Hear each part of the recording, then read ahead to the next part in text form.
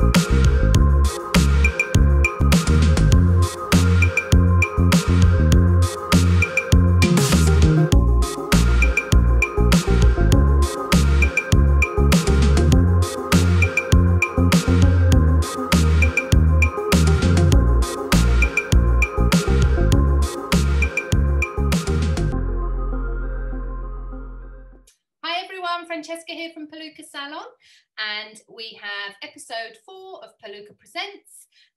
we are looking at measuring your head for a wig.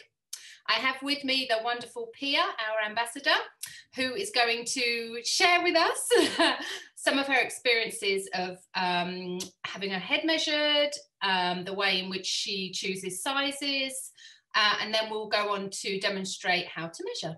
Pia. Perfect. Hi. um, so my experience um, with measuring my head um, was non-existent when I started wearing wigs. Um, the first time that I went into a wig shop, my head was measured. I was just given an average um, cap size wig. Um, so actually my, I started measuring my head way down the line um, after you know a couple of years of um, wearing wigs um, incidentally just because i saw a video on social media um, and uh, i've been always using um, average size wigs and actually uh, i think by Jon Renau standards i'm a petite. Um, so yeah it's just interesting to see that I think that's a lot of people's experience, especially when they sort of dive into the wig world without any guidance from a, um, a specialist, um, that they just don't get their head measured. And you end up using uh, a wrong wig size, which can lead to, you know, headaches if it's too small, um, excessive sort of bagginess in different areas. Um, and it's just, it makes the whole wig wearing experience much more uncomfortable. Mm. And I think um, when we talk about priorities in wig wearing, we do try to put fit at the very top because exactly as you're saying, that comfort factor um, is the most important. And when you're new and you go into a wig shop or you try something on, you're only trying something on momentarily and yeah. you might feel and trust in what you're being told and it might feel okay at the time. Uh, but I know that from my experience, um, I, have worn things that have been far too big and just accepted that that pain behind my ear, that cutting behind my ear was just the way it was. Um, but you soon come to realize that no, there is a better scenario. Um, I think that the wig industry, the stock wig industry, is growing and growing, and I, and we can see that lots of brands are introducing more of their uh, styles in petites and large, whereas before there was a very small pool of those options. Um, but of course, I've said, you know, in the past that if we can take a bit of control over that element and understand our own head, as it were, we'll know what we're looking for. So, as Pia said, by Jon Renau standards, she is a petite, um, but has always been wearing average and now ha- has this kind of understanding of why it's bagging here or, or bagging in other areas. My issue is, is very similar. I'm a petite average by measurement standards, but if I go too small, I find that I struggle with this this measurement, albeit this area is super snug. So without trying to confuse and overwhelm people, we are going to look at how to measure, but also have a conversation about understanding those measurements and, and how those measurements impact on the way the wig may sit on your head. Um, so you often, I often find that somebody will just give me, they'll say, I'm an average, my circumference is, but I think that it's important to have all of these other measurements. Um, Pia, is that has that been your experience in terms of a measurement? Um, just taking one measurement, or when you've thought about your own head size, like how you went about it? Yes, um, exactly. It was just one measurement, and I have been asked asked by um, some wig uh, sellers uh, for my circumference, only my circumference. Mm. Um, so I, I, do think it's important to take um, well the measurements that we we will be showing.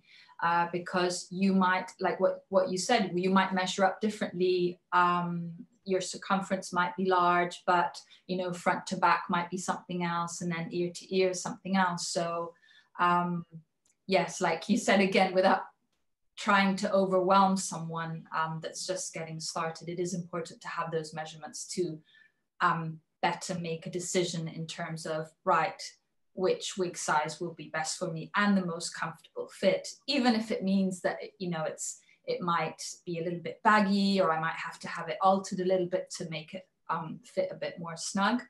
Um, but yeah, it's just uh, a really important part of the process. And at the end of the day, um, you know, wigs are quite costly and uh, the intention is for them to last the longest period of time and be as comfortable as possible. Mm. And you mentioned there alterations, and we'll talk about the kinds of alterations that can be made, and that will help inform you in terms of if your measurements are slightly odd, what do you go for? So we will talk about the kinds of alterations that can be made. So that's great.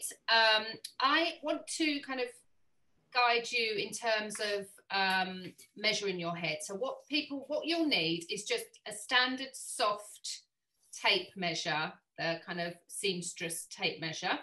Uh, mine's got inches and centimeters. It doesn't matter as long as you indicate what you've taken the measurement in. Okay. Um, there are some, some people use retractable ones. Jon Renau don't do a lovely retractable tape measure, but I like the standard, but it really doesn't matter. I've also had people when we've doing when we've done online consultations where they haven't got one of these. We've done um, used a piece of string and then measured that piece of string against. So if you've got a uh, like a builder's tape measure that's metal and you know won't wrap around, you can then use a piece of string and then measure it on on measure the piece of string. So there are ways around it. so um, on our website, and you'll find on lots of you know um, wig store websites or you know lots of information about how to measure you'll find some the guide. So this is a Jon Renau guide um, and it does help you to take the measurement and then establish where you might sit. Um, but all brands will have their own guide so it's worth seeking that out. If you for example are looking particularly at let's say a Raquel Welch maybe look for their guide as well because it's it's like clothing isn't it? We come to learn that that store is a bit big that store doesn't work for me in that size which isn't helpful is it? But it's just the way it is. So we're going to start with the basic three measurements and then I'm going to talk to you about additional measurements that someone might need or might ask for, so it's worth taking. Right, so the first one is the circumference. Now, the circumference obviously is all the way around your head. But I've had people give me circumference measurements and they've said, I've done it three times and it's lots of different measurements. So it's all about finding the right spot. So if you remember, like for like myself and Pia, I don't know if we even remember where our hairline was, uh, but we have to do our best to find where our hairline was. And we take that and we wrap it, so Pia will be able to demonstrate better. We wrap it and we make sure it goes behind the ear. So not on top, it needs to sit snug behind the ear. And then in terms of where it sits at the back, if we bend, we start by bending. So I always say to people, do it that way first, find the back and bring it over. And bring it over, okay. Yeah. Yeah. That's it over the ears. And you see how it just suddenly sits a bit better, doesn't it? If rather than trying yeah. to go from here to here. So I'm going to write P here circumference. So in centimeters. That would be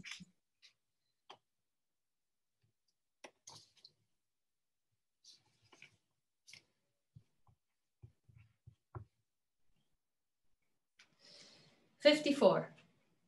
54. You don't have inches on yours, so let me just No. do a little rough. Uh, that's 21 and a half. now, When you lay it out like that, that's that's a big head. Um, then ear to ear. Now, there's lots of ways of doing ear to ear, but we're going to do the Jon Renau way, first of all, then I'll talk about different ear to ear measurements. Now, some people mistake it for this, but it's not. You have to measure from your hairline first, and um, so it's seven inches back. So for you, Pia, that would be 18 centimeters. So seven inches or 18 centimeters back from your hairline. And effectively, you're finding that kind of crown or occipital bone, I think we call it. And then you take it there and there. That's it. So through there, right. Yeah, through there.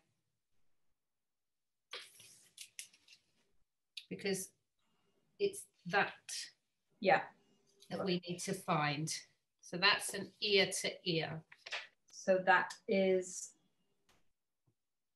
30 and a half. Some people also call it ear crown to ear crown. So ear to ear, right? 30 and a half. Um,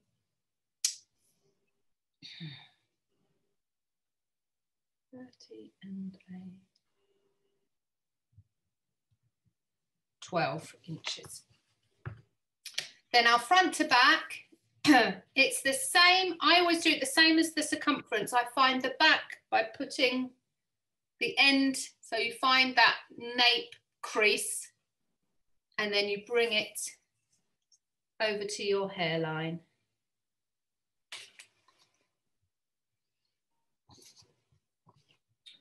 That is 31. 31.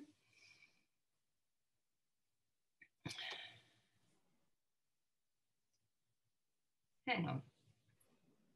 30, oh yeah, 31, 12 and a quarter. Right, I'm just going to do two additional um, sizes just so I have them. Now we've done ear crown to ear crown, which was that seven mm-hmm. back. I also want ear front to ear front. So, so the top of your, so hang on. Where, just in front, just at that edge there, Right so there. not behind. So where you're, that's it, exactly there. Over, across your hairline. That's it. That's it. That is 29. 29, so much smaller than 11 and a quarter. And then this one's really important for me because I have a slightly flatter head. Mhm. You know, it's not full as it were. So this is called temple back to temple. So it's temple, so where your temples are, Okay. yeah, and then straight around the back. So temple to back to temple. Because I struggle in the I've never taken this one. yeah, because this is my smallest measurement, which is why I get baggy here. It's like a saggy empty something.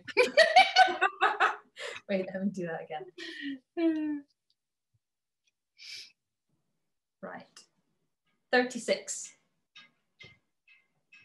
I'm just out of interest going to do mine.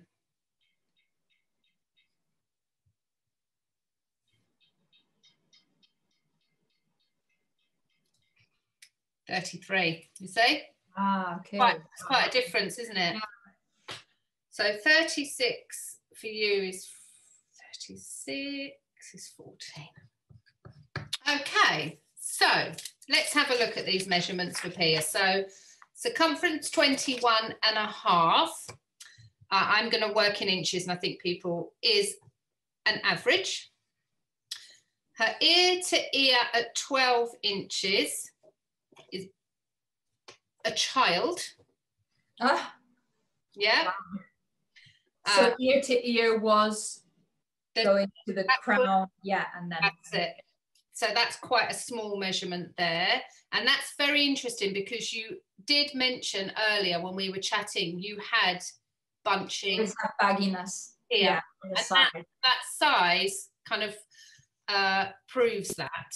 Um, 12 and a quarter front to back, again, is really small. And then we have 29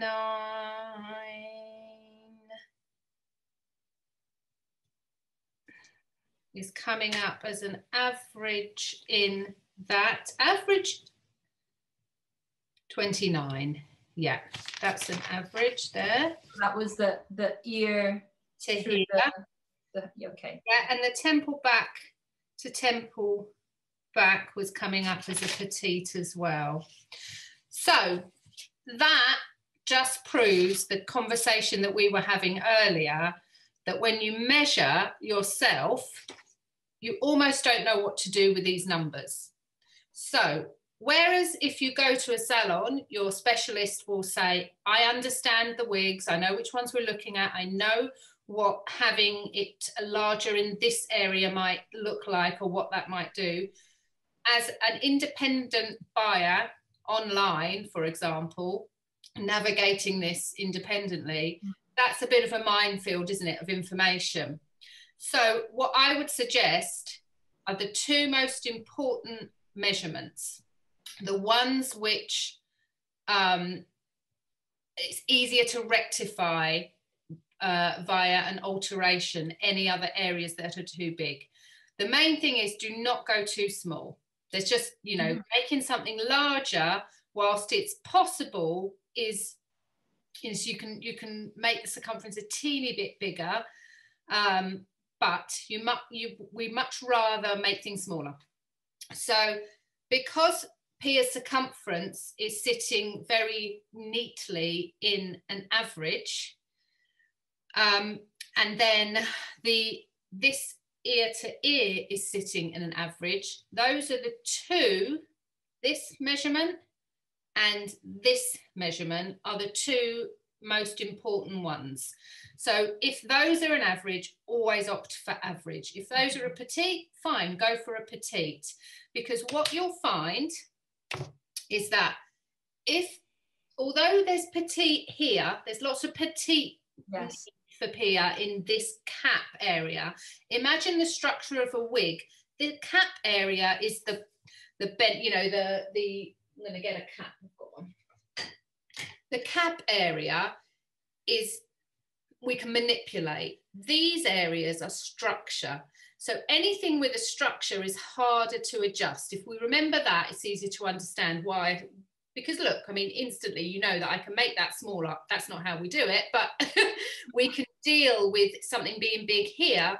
We can't deal so much with something being big here and the lace front you can't touch. So if if something is too small here, you're going to have an ear tab that's far too high. Mm-hmm. And if a circumference is too small, well, of course, you're going to have marks, it's going to hurt, you're going to get headaches, all of those things. So it's interesting. Obviously, Pia said that she's been wearing an average, but explain to me um, perhaps where you felt something hasn't fit right and what that has caused or the problems that you've encountered from that. Yeah. So my main main issues with an average cap um, have been mainly the sagging here and some with some caps or brands as well a little bit at the back. Um, Yeah. I've never had issues with um, the circumference feeling um, excessively tight. Maybe um, every now and then with a specific brand or a specific style. Um, which can happen across the same style as well. I might have two Jon Renau Serras, and then one might feel a little bit tighter than the other, even though they're the same size. Yeah. Um, but yeah, in general, and referring back to those two main uh, measurements that you said, so the circumference, which I'm an average in, that's always felt fine. And then my ear tabs have always sat where I feel they, they should be sitting. So down here as opposed to up here. Yeah. Yeah. Because you're so you're you're feeling that there's some excess fabric. Yeah. And I can always I can always sort of pinch the excess um, fabric. Yeah. And that's interesting because effectively that's how we would resize. Um, we we look at the cap on the person um, and we think where is it naturally wanting to fold and mm. so if it naturally folds there, then obviously we turn it inside out and we put um, almost like a dart. We don't cut anything out. We work with that natural fold and we stitch to just put it in place. For me, it's either here, depending on the brand, like I can lift. This mm. is perfect, it doesn't lift. Or it just kind of finds its way and all of the excess fabric sits at the back, at the nape. So I have this bunching at the nape. And again, that natural bunching we find and we will sew. That's on a hand-tied cap. On a wefted cap, it's much, much easier. um, on a wefted cap, we would again feel that where that excess is, and you can physically remove a single weft or mm. two or three. And then what that does is that creates less bagging and bunching. Mm. Um, but for me, it's there are kind of standard ways to resize if you haven't got your client there, but quite often we're able to get on a Zoom consultation and ask you. It takes time to like explain where it is, and then we'll take a measurement roughly. Um, so things can be done remotely still. Um, but when you're in salon, we can really find it, we'll pin it and we'll fix that for you. And that's that's important to know that that option is available so that when you buy, you buy knowing that it doesn't have to fit perfectly in this area because that can be adjusted as long as I'm not struggling with how tight it is here and it, these aren't too high. Um, yeah, I think that's and I suppose we're talking about being being able to access salons or working online so you have to approach it differently if you're working online and you know that you've got a particularly uh, you've got difficult needs as it were so you expect that it will need an adjustment buy from somewhere that offers that as well mm-hmm. because if you buy from them knowing that it needs an adjustment then you have a conversation with them about that prior to buying it. They can advise you as well because Pia knows as well because she's worn wigs across brands that even though we've established average, average for one brand and average for another brand uh, can feel very different depending on the cap size, uh, the sorry, the cap construction and the brand. So I don't know if you can identify ones uh, that you particularly notice were two average sizes that felt very different? Yeah. So, um, for example, my, where is she? Tatum um, from Rene of Paris, average size, and the I can't wear her because she gives me a headache. That just the right. circumference is way too tight. Um, so yeah, she's she's going to your wig bank. Wonderful. Tatum is, correct me if I'm wrong, she's from the Amore. Yes, Amore, yeah. And Amore, we know, come up, uh, they, they work for me because they're not quite petite, but they're on the petite side. Ah, so they work for me. So Amore come up smaller, but you've got Raquel Welch. They come up big, don't they? Yes, they do. I can't wear a wefted Raquel Welch because it comes up much too big, really low ear tabs.